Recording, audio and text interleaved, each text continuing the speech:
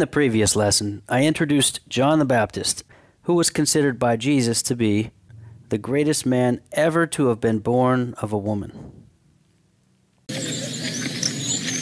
As John's disciples were leaving, Jesus began to speak to the crowd about John. What did you go out into the desert to see? A reed swayed by the wind? If not, what did you go out to see? A man dressed in fine clothes? No, those who wear fine clothes are in king's palaces. Then what did you go out to see? A prophet? Yes. I tell you, and more than a prophet. This is the one about whom it is written, I will send my messenger ahead of you who will prepare your way before you. I tell you the truth. Among those born of women, there has not risen anyone greater than John the Baptist. So, why would Jesus regard John the Baptist so highly? As even greater than Abraham or Moses or King David. It's because John the Baptist was chosen by God to be the herald for the King of Kings. As a king's herald, John the Baptist had the vital role of going before the King of Kings to announce his arrival. However, there was a slight problem. The Jewish people back then had what we call today selective hearing. Of the thousands of prophecies spoken by God in the Old Testament, the Jewish people only believed the ones that suited them and ignored the ones they didn't like. Thus, they only believed certain prophecies about the Messiah, in particular, ones that portrayed him as a powerful king who would destroy their enemies. However, they selectively tuned out prophecies like the suffering servant passages in Isaiah, which foretold that the Messiah would suffer, be humiliated, and ultimately sacrifice his life to atone for the sins of mankind. No one wanted to hear about that part, so they simply disregarded it. This would come back to haunt them later, because although it was obvious that Jesus was the Messiah, from all of his supernatural powers and unparalleled wisdom, these stubborn people could not understand why Jesus was humble and merciful rather than politically savvy and powerful. This kind of thinking led to the first confrontation between John the Baptist and the Jewish leaders. Because a multitude of people was coming to John to be baptized, naturally the Jewish leadership wanted to know more about him. So, as chapter 3 begins, John is going about his daily baptizing when a group of rabbis arrive to see what all the fuss is about, and perhaps even be baptized by John. The minute John sees them, he immediately calls them out on their hypocrisy starting a hostile confrontation.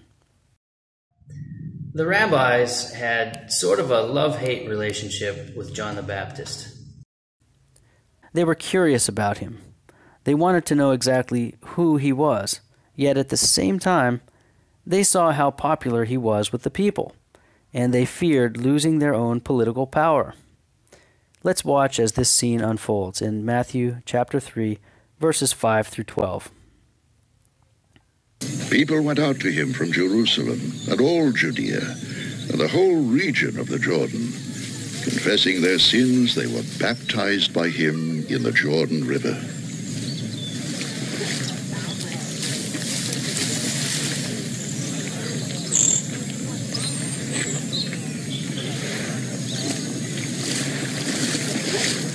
But when he saw many of the Pharisees and Sadducees coming to where he was baptizing, he said to them, You brood of vipers!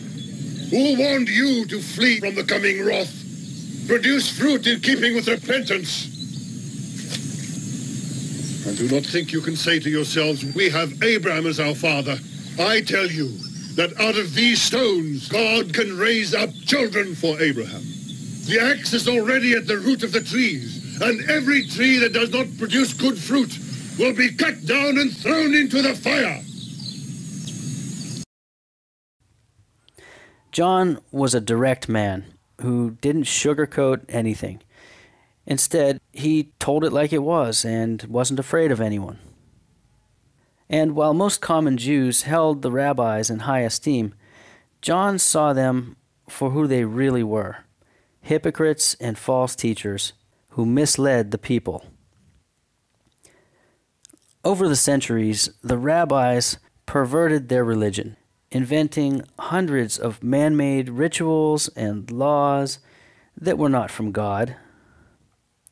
These man made rules, combined with their ornate flowing robes and their false symbols of holiness, gave the rabbis the appearance of holiness and helped them to command the respect of the common people, who were easily fooled by outward appearances. So John unleashes a tirade on them. He continues, saying, Produce fruit in keeping with repentance. Produce fruit in keeping with repentance. John's message was simple and direct. Repent. Rethink your life. Turn away from your evil ways, because the King of Kings is coming. This is God's only Son. And if you want to worship Him, if you want to be accepted by God, then you first must repent.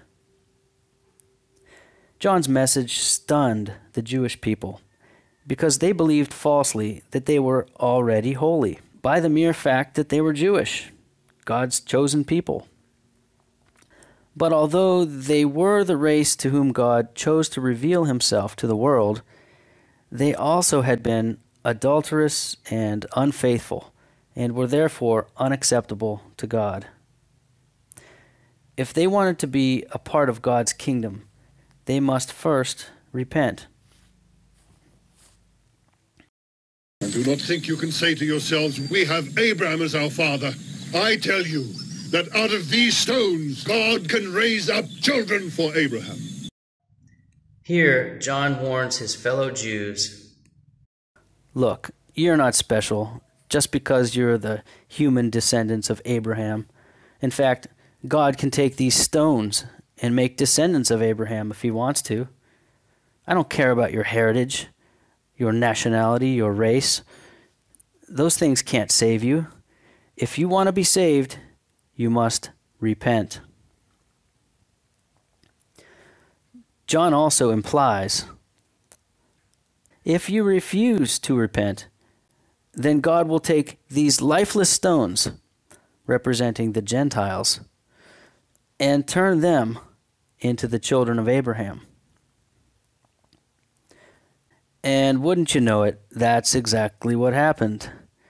The Jews rejected Jesus, their king, their Messiah. And less than 40 years later, in 70 AD, the Romans completely destroyed Jerusalem and their holy temple. The Jewish people were scattered in all directions, and Israel did not recover as a nation until 1948, almost 2,000 years later. What's the obvious lesson here? Do not mess with the creator of the universe. He created you, and he can also destroy you. Jesus later reinforces this idea in Matthew chapter 10. Do not be afraid of those who kill the body but cannot kill the soul. Rather, be afraid of the one who can destroy both soul and body in hell. Since the Jews rejected their Messiah, God then selected the Gentiles because they would accept and would honor his only Son. Jesus predicted this in the parable of the wedding banquet. Jesus spoke to them again in parables, saying, The kingdom of heaven is like a king who prepared a wedding banquet for his son. He sent his servants to those who had been invited to the banquet to tell them to come. But they refused to come. Then he sent some more servants and said, Tell those who have been invited that I have prepared my dinner. My oxen and fatted cattle have been butchered, and everything is ready. Come to the wedding banquet. But they paid no attention and went off, one to his field, another to his business. The rest seized his servants, mistreated them, and killed them.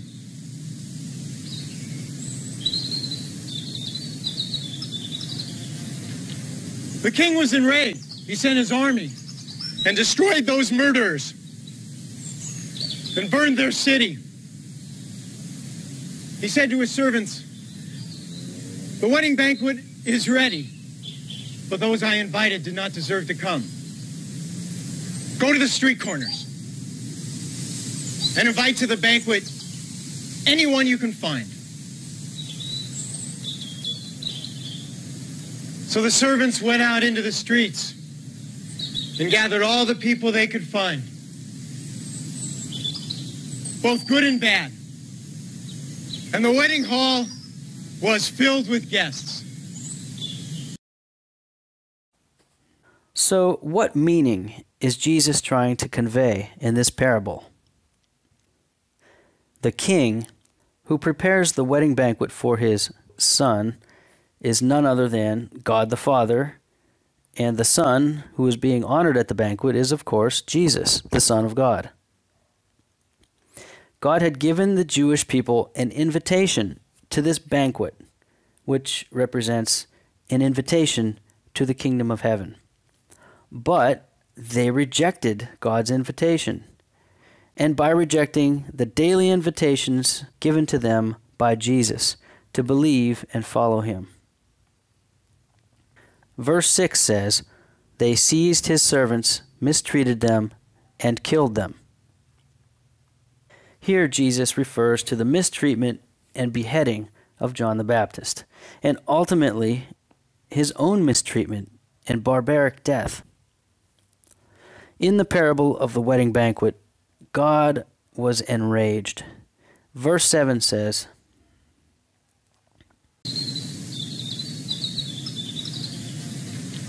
The king was enraged. He sent his army and destroyed those murderers and burned their city. Burned their city? What was this all about?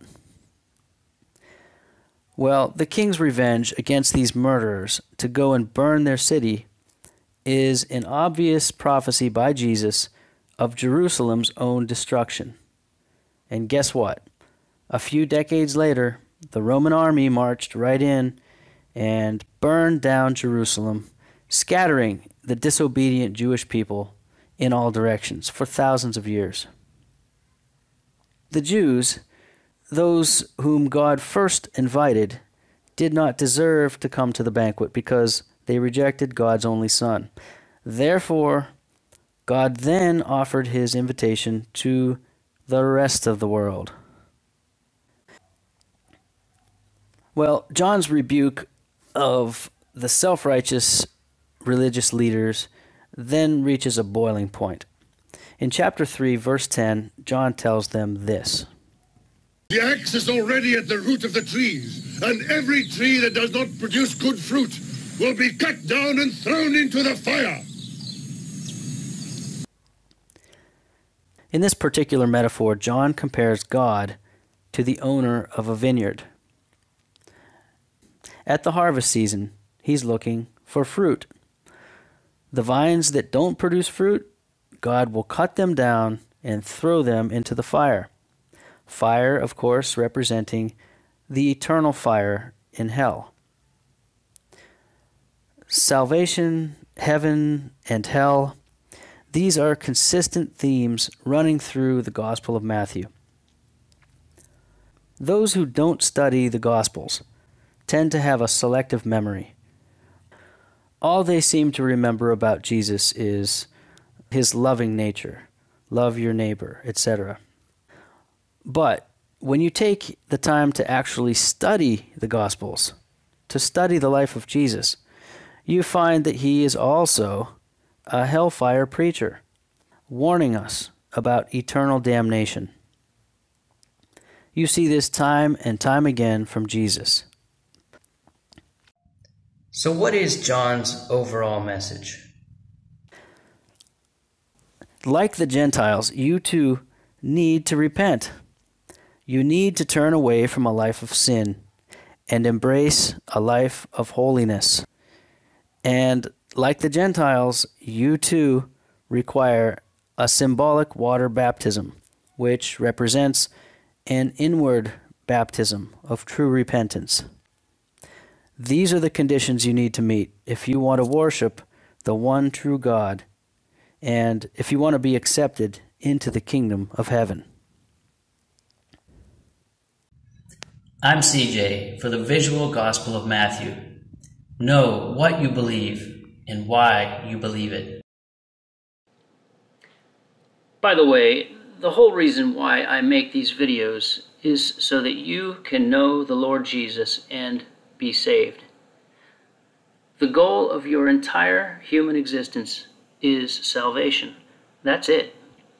There is nothing more important than ensuring your soul will go to heaven and not to hell when you die. It's more important than your job, it's more important than your family, or any other human experience or accomplishment. The Bible is the Word of God, and it tells us that salvation is not something you can obtain by working hard enough or by being a good enough person. Salvation is not something that we can earn. The only way to be saved is to be regenerated or born again by God Himself. The Bible tells us salvation is a free gift from God, that God saves you, and that you cannot save yourself. So you might be asking, how can I be saved and know that my soul will go to heaven when I die? Well, Jesus says, Ask and you shall receive. So say this little prayer with me right now. Dear Lord Jesus, I know that I am a sinner and I ask your forgiveness because you alone have the power to forgive sins. I believe you died for my sins and rose from the dead. Therefore, I repent and turn away from my life of sin and I invite you to come into my heart and into my life. I want to trust and follow you as my Lord and Savior.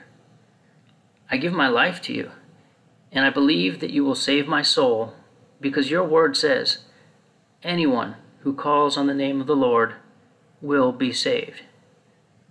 Amen.